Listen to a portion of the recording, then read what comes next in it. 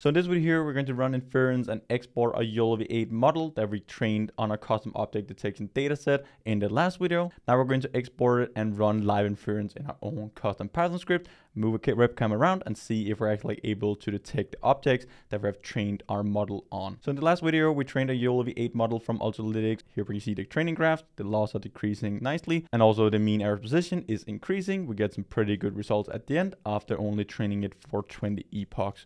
So if you just scroll down, we can see that this is act like the predictions that we get. This is the custom object detection model, the custom YOLO V8 model that we have trained. We can see we detect these five types of cops. Let me just scroll down. We can see another example here. We get some pretty nice detections, also pretty high confidence scores. We're using the YOLO V8 medium model.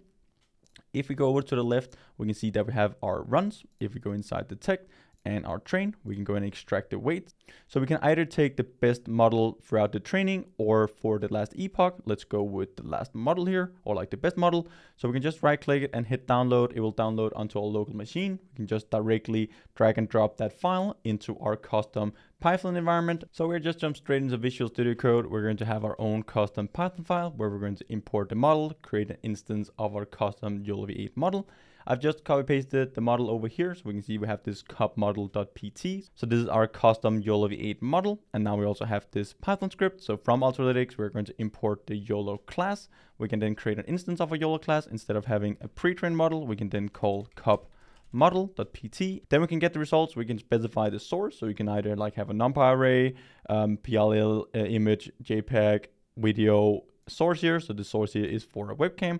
We can specify if we want to show the results, store the results, and also set a confidence score for filtering out like our predictions. We can also go inside Ultralytics documentation and see all the other different kind of like arguments that you can throw into this model function.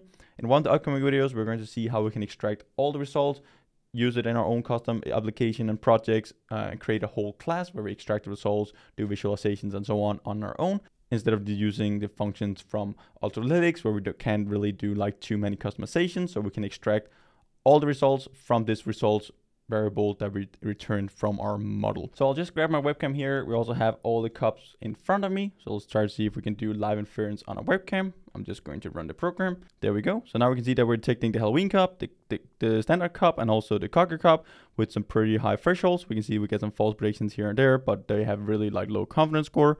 Let's try to see if we can detect this hand painted cup.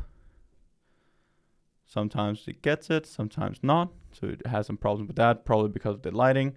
Just take it away. So here we can see we get some nice predictions with our hand painted cup. Try with some of the other ones. So we have the cup here. It also depends on the data set, like and how many images you have in your data set. This is not the exact same background as when the when the images were actually like captured. But we can see that this Halloween cup, it actually like has pretty good, uh, pretty good inference results with that. We can also apply object tracking. We're going to do that in one of the upcoming videos so we don't lose track over a number of frames. So here we're just doing custom object detection on every single frame. We're not really tracking the objects over time. So that is for one of the upcoming videos.